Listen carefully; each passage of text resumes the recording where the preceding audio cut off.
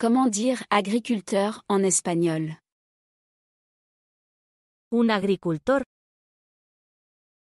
Un agricultor. Un agricultor. Accède gratuitement à plus de 100 fiches de vocabulaire en espagnol.